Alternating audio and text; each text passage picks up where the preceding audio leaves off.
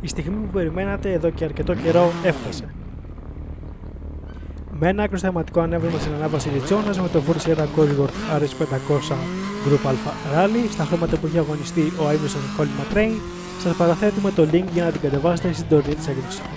Τη στιγμή που βλέπετε το βίντεο, πιθανότητα να έχει ξεκινήσει η δουλειά για να βγει η ανάβαση σε καλύτερη έκδοση σύντομα.